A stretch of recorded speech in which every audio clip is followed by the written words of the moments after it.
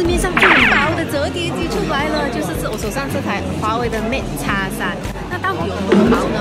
你看哦，折起来跟我们平时的直板手机几乎是一样的轻薄的。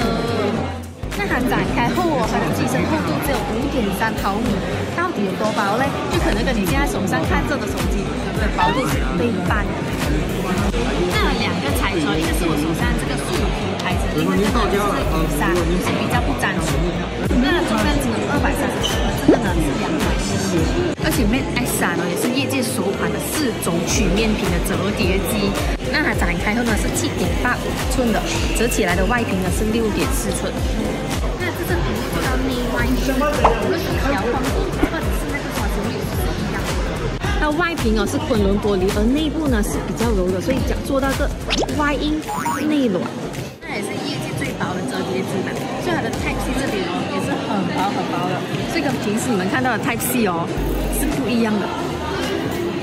而且这个是全新的双轴水滴铰链，它可以悬浮从三十度到一百五十多度的。也比起上一代进步了很多，在这个铰链的部分。那这次呢，有这 IPX8 的防水防尘，总共有五个颜色，两个材质，分别就是鱼纱玻璃跟树皮材质。而墨石黑有 Graphic 有着更好的散热。华为这个刚发布的 Mate X3，让你对折叠机有没有不一样的看法了嘞？